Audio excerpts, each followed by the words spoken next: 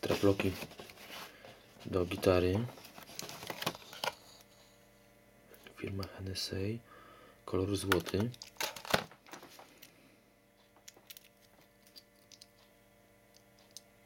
Bardzo prosty montaż. Wystarczy wymontować, wykręcić stary zaczep do paska z gitary. Wkręcić ten. Następnie pasek od gitary włożyć pomiędzy te dwa elementy, skręcić je i wtedy mamy pasek i gitarę. I żeby zamontować gitarę, zamontować pasek, trzeba tutaj wcisnąć to i wtedy się poluzowuje. Żeby wyjąć, wystarczy pociągnąć.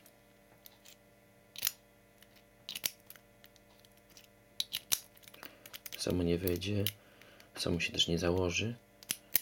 O. I to tyle.